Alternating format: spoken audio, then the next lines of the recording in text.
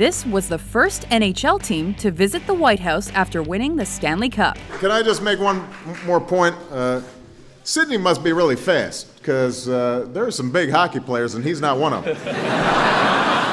Welcome to WatchMojo.com, and today we'll be continuing our series of the most successful sports franchises with a look at the Pittsburgh Penguins. Bellows cuts in on goal, makes a little move. Hey! Shoots and scores!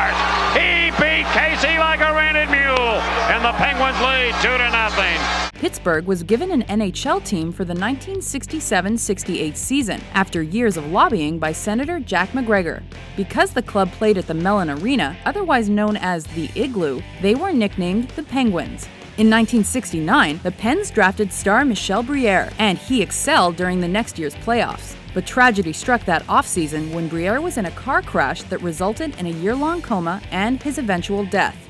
Financial troubles soon plagued the team, and by 1975, it looked like the Pens would either collapse or move. But somehow, the club made it out of the 70s alive. For a fresh start, the Penguins started the 1980s by requesting a color change for their uniforms, from blue and white to the black and gold seen on all other Pittsburgh sports teams. While the Boston Bruins claimed they had a monopoly on those colors, the league ultimately sided with the Pens. Despite the change, the early 80s were a disaster. But that got the franchise the number one pick at the 1984 entry draft, and with it, they selected Mario Lemieux. In his NHL debut, he scored on the first shot of his first shift. The records piled up.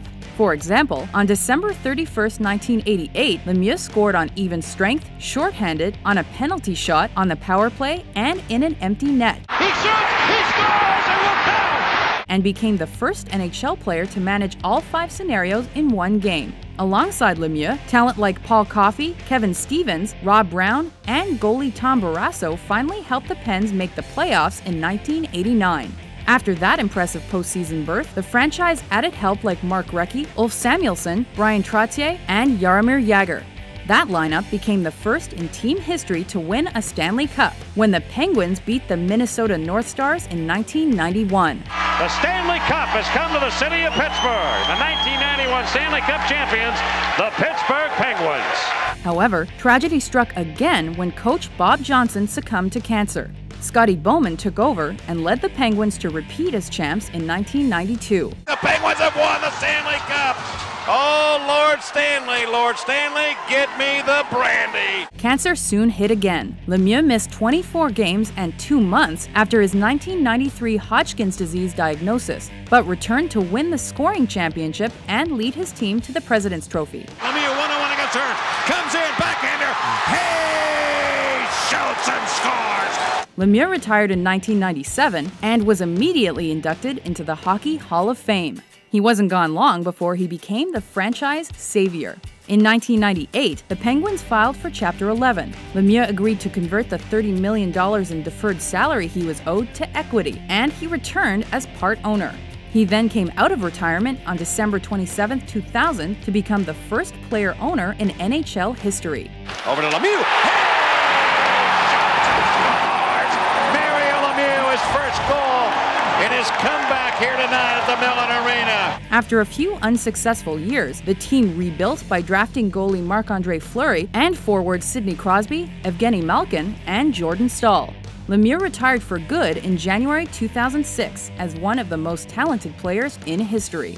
The Pens soon reclaimed Lord Stanley. To end the 2008 2009 season, they fought from an 0 2 deficit against the Detroit Red Wings and managed a Game 7 win thanks to Max Talbot's clutch goals. Talbot shoots.